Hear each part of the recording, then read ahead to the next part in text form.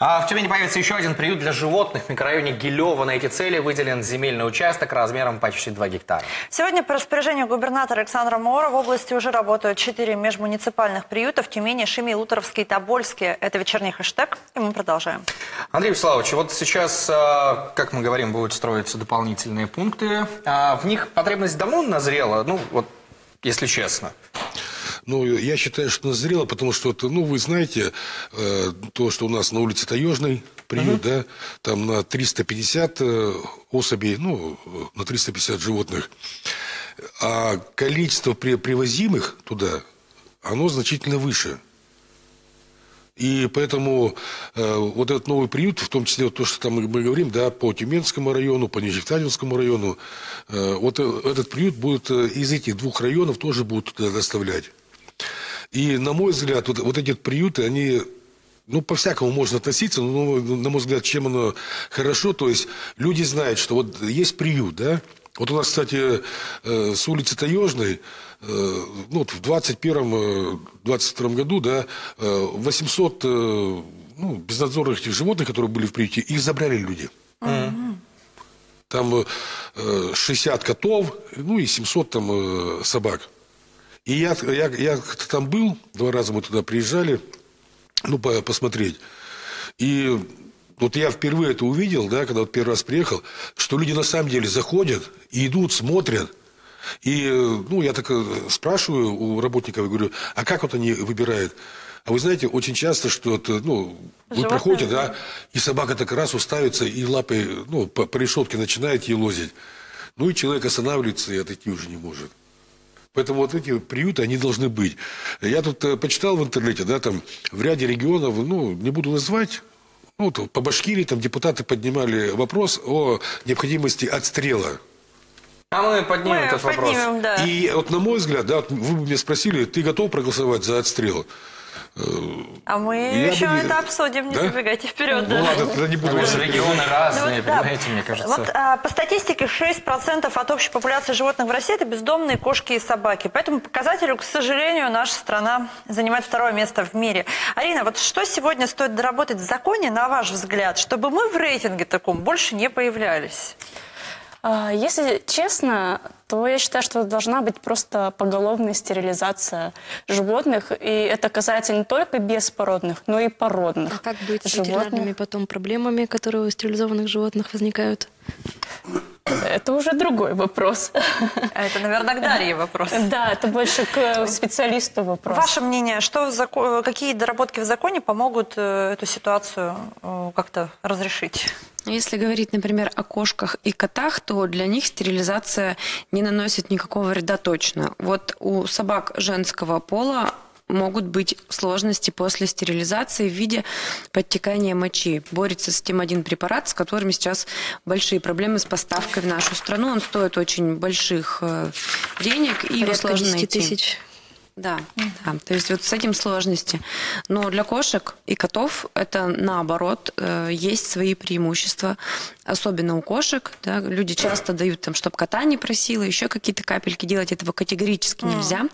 Это наносит большой вред. Не обязательно сейчас, это могут быть большие отсроченные осложнения через полгода, через год, два, три. Mm. Вот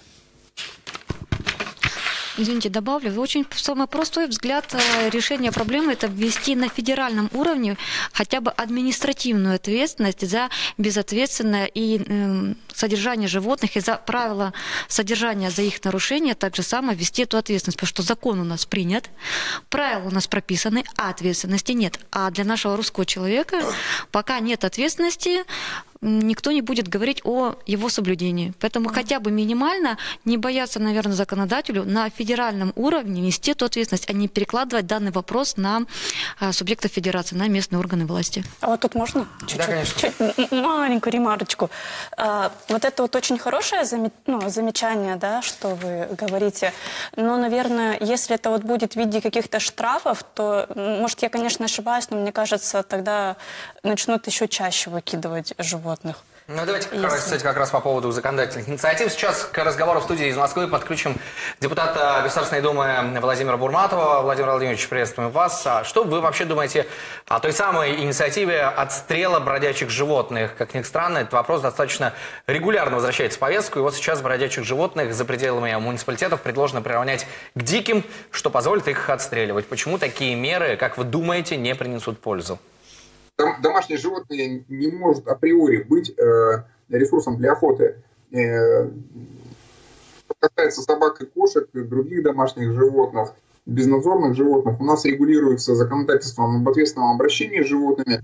А то, что касается э, охотничьих ресурсов, регулируется законодательством об охоте, о животном мире. То есть это две сферы законодательства, которые лежат абсолютно в разных плоскостях и никак не пересекаются. Вы дома не можете держать волка, потому что это дикое животное, оно запрещено к содержанию, и это оговорено в законодательстве. И вы не можете охотиться на собак, потому что это домашние животные, они охотничьим ресурсом быть не могут.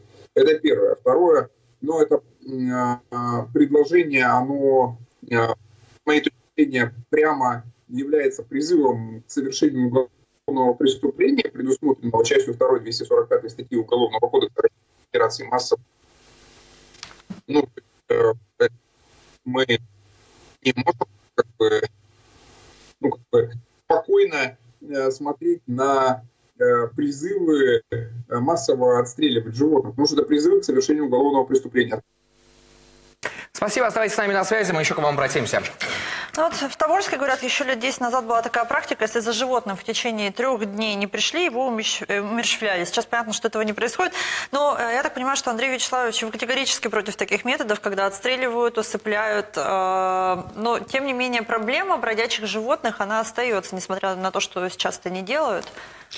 Да, но вот я говорю, вы бы не спросили, ты бы сумел пойти на этот шаг, допустим? Я бы, я бы нет, я бы не сумел. Потому что вот что кот, что собака, все прочее, да, ну, это тоже, как и я, живое существо. И принимать такое решение я бы вряд ли стал.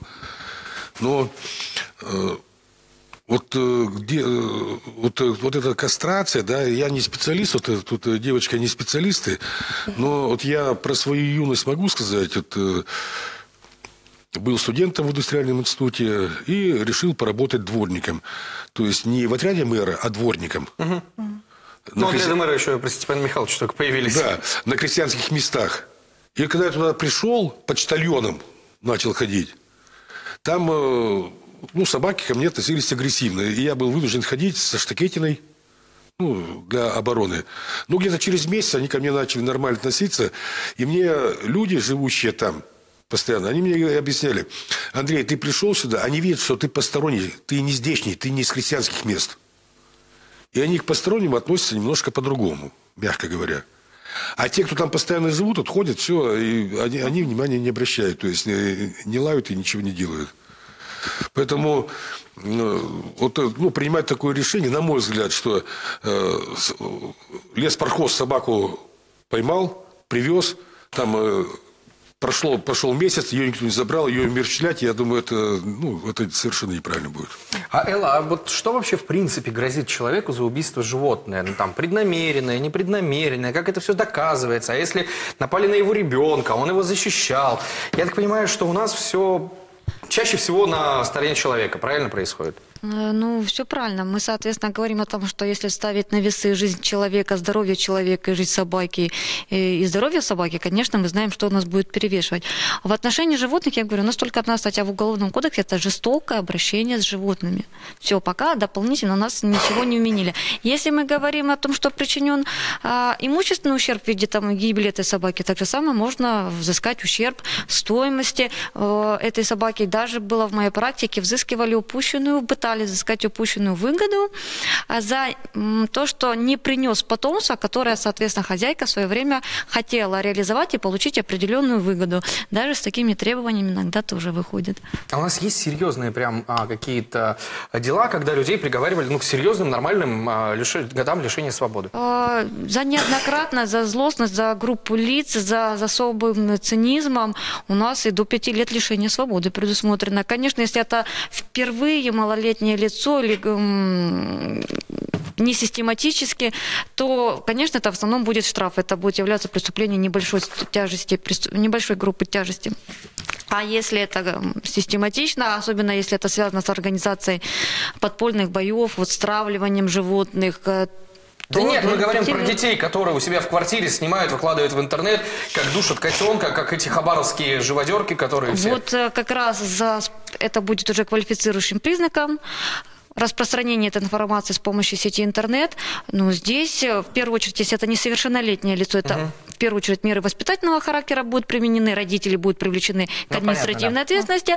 Но если мы говорим о совершеннолетнем лице, который в полной мере осознает и допускает это неоднократно, то да, у нас и 5 лет лишения, реального лишения свободы давали. Ну, будем надеяться, что и те, которые на улице что-то делают с животными, якобы защищая себя, тоже что-то получат. Но ну, а, давайте прервемся небольшую паузу. Впереди еще финальная часть вечернего хэштега. Не переключайтесь.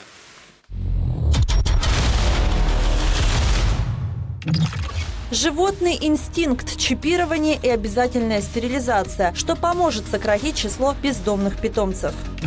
Дорога домой. Кто из зрителей вечернего хэштега станет лучшим другом для котенка из потеряшек?